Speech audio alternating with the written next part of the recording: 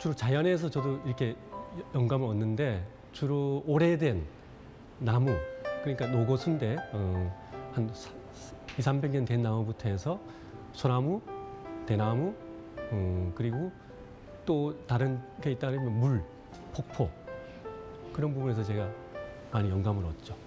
보통 나오는 그 물감이 유화 물감이나 아크릴 물감은 그 사람이 만든 인공 그 재료인데 그 木탄이 가지고 있는 자연 재료에서의 어떤 그 느낌은 그 물감에서 따라오지 못하는 그런 검정의 어떤 그 매력이 있거든요.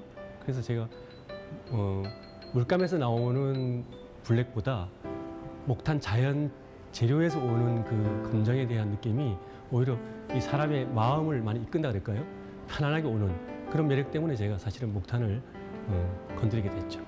어, 보통 우리가 알고 있는 저게 그 풍경화는 대부분 다 태양에 비친 어, 태양에 비친 어, 사물의 풍경을 그리고 있는데 저는 달에 대한 어떤 그 달의 정경이랄까? 달에 비친 어떤 그런 풍경을 그리니까 아무래도 그 우리 이쪽 한국이나 동아시아권에서는 어, 달에 대한 어떤 그 풍경은 음력인데 그게 생명의 어떤 주기 현상과 같이 맞물려 있기 때문에 음, 그 부분에 제가 많이 어, 영감을 얻고 그 음력에 대한 그리고 달에 대한 그런 부분에 제가 영감을 받으면서 그림을 하게 되죠. 어떻게 보면 작가라는 거는 자기의 어떤 개인의 역사를 쌓아가는 게 아닌가 생각됩니다. 그러니까 작가는 자기가 보는 어떤 시선과 자기가 세상을 보는 어떤 그 상상력을 어, 캔버스 안에서 무한하게 어, 자유스럽게 모든 것을 펼칠 수 있는 사람이라고 보거든요. 그러니까 그런 데서 오는 어떤 작가의 어, 내면적 추적 그거에 대해서 저는 굉장히 많은 어, 기쁨을 느끼고 있죠. 어, 목탄은 일반적으로 우리가 알려진 거는 드로잉 재료로 알려졌는데 저는 이 목탄을 그 동양에서 쓰고 있는 먹, 그 오리엔탈 잉크, 그 먹의 개념으로 제가 쓰거든요. 그러니까 이 목탄이 가지고 일반적인 작가들이 쓰지 못하는 이유는 이 기법에서 이게 날리고 으스러지는 기법에서 이걸 사용 못하는데 제가 그 기법을 어, 어느 부분에 소화를 해냈고 그리고 저는 그 드로잉이 아닌 회화의 업그레이드로 예, 사용하고 있는 거죠. 저는 오랫동안 돌로 작품을 했고 어, 한국과 이태리 유학 시절에 이제 처음으로 돌을 예, 작업을 했는데 오랫동안 돌을 하면서 작품이 진화돼 간 거죠. 어, 처음에는 입체, 뭐 인체 이런 작업을 하다가 점점 점점 이, 런 식의 작업으로 변해 갔습니다. 제 작품은 그 보시다시피 그 조각과 그림의 어, 믹싱된 그런 작업이죠. 예? 제가 원래 조각을 전공했으니까 조각적인 것과 평면화적인 것을 섞어서 작업을 하는데 어, 이것이 돌이기 때문에 어, 그림과 다른 것은 실제감이 있다는 거예요. 평면인데도 어, 물질이고 어, 그것이 다른 그림과 다른 점입니다. 어, 어제처럼 전시를 할 때, 어, 특히나 뭐 soloist 개인전을 하는 경우 같은 경우에는 수많은 사람들이 모두가 제 작품에 집중을 해준다는 것이죠. 그리고 찬사를 보내주고 어, 그 아티스트로서의 그 존경을 표해주고 할 때 너무너무 감사하고 행복한 시간이죠. 에, 저는 그 이 오석을 이 돌을 어, 그라인드로 깎아서 가빙 깎고 그 다음에 채색을 하는 단순한 두 과정입니다. 깎고 그리고 하는 어, 물론 깎는 깎는 것은 그 많은 테크닉이 필요하지만은 어, 기본적으로는 깎고 그린다. 예, 그두 가지죠.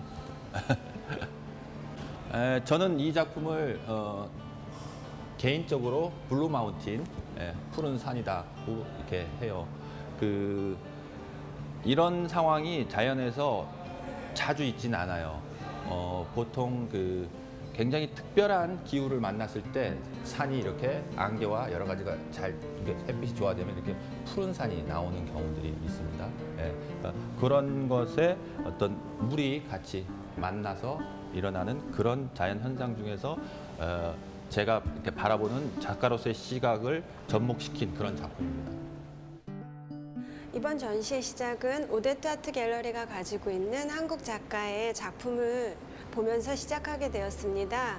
그 작품들이 가지고 있는 공통적인 주제가 풍경의 이미지였고, 그래서 저희가 주제를 기억으로부터의 풍경, 즉 한국 작가들이 가지고 있는 한국에 대한 이미지들, 기억들, 거기서 그들이 풀어내는 이야기들을 싱가포르 오데트 아트를 통해서 보여주고 싶었습니다. 최영옥 작가의 작품은 카르마라는 제목입니다. 지금 보시는 최영옥 작가의 작품은 다랑아리인데 제목이 왜 카르마인가 하면 그 안에 있는 균열들, 즉 도자기를 만들 때 보이는 빙열들이 우리의 인연을 나타냅니다. 우리가 언제 어디서 만나서 또 어떻게 헤어졌다가 다시 그 만남을 이어질지 모르는 우리의 인연에 관한 이야기를 우리의 달항아리 가장 한국적인 요소를 통해서 oil painting을 통해서 보여주고 있습니다. 손봉채 작가 선생님의 작품은 이주민으로서 어, 그 작품에 보시는 소나무가 구름 위에 떠다니고 있습니다. 이주민의 삶은 어디서 자기가 태어난 고향에서 떠나서 다른 곳에 정착을 해야 되는데 그러한 삶이 떠다니는 조경수들 구름 위를 다니는 조경수들을 통해서 이주민의 삶을 우리의 삶과 같이 보여주고 있습니다. 어, 그리고 이 작품은 폴리카보네이트라는 비행기 창문에 쓰이는 재료를 다섯 겹으로 layered를 하고 그 위에다가 세필로 소나무를 하나하나 그리고 그 다음에 그 뒤에다가 LED를 비춰서 굉장히 입체적으로 보이는 작품입니다. 박승모 작가의 작품은 철망을 layered해서 멀리서 봤을 때 꽃이 보이는데 그 꽃을 잡으려고 가까이 다가가는 순간 그 이미지들이 없어지는 어떤 허구에 대한 이야기를 하고 있습니다.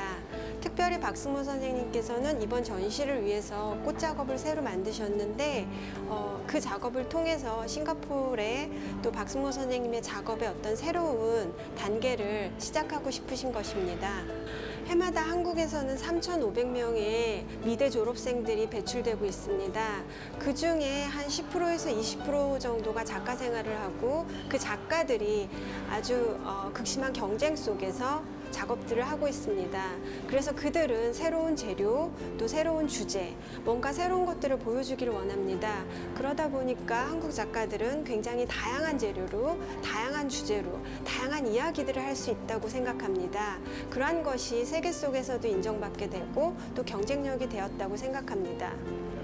그리고 그 한국 작가들이 가지고 있는 감성들이 작품으로 표현되는데 그것이 세계적인 어떤 공통적인 언어가 되는 것 같습니다. 한국만이 갖고 있는 감성과 세계적인 감성들이 같이 조화가 되어서 그것이 보는 이들에게 같은 감성을 느끼게 하는 것입니다.